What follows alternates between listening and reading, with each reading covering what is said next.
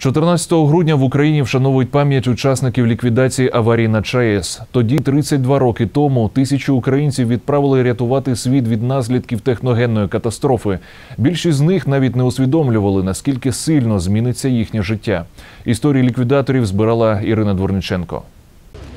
На перший погляд тут зібралися зовсім різні люди, але їх об'єднує одне: всі вони ліквідатори аварій на ЧАЕС. Не шкодуючи свого здоров'я та сил, ці чоловіки та жінки рятували нашу країну від наслідків вибуху. Цього чоловіка звати Борис. У минулому він медик, працював на станції швидкої допомоги. Розповідає, що у травні 86-го року його терміново відправили на атомну електростанцію. На сборы буквально пару часов только дали с- срочно пос- послали туда. Ну, мы там оказывали помощь и местному населению, и, ликвидаторам. 600 тисяч саме стільки чоловік ліквідовували аварію на Чорнобильській АЕС.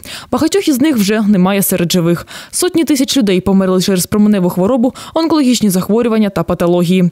А більшість з тих, кому вдалося вижити, стали інвалідами. Історія цього чоловіка це доводить. Пан Сергій після перебування у зоні вибуху тепер інвалід другої групи. 13 выездов у меня в третью зону, это на станцию.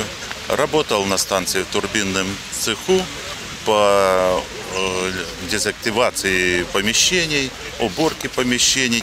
Сьогодні всі ці люди зібралися тут, біля пам'ятного знаку жертвам Чорнобиля, аби вшанувати пам'ять загиблих та покласти квіти на знак пошани.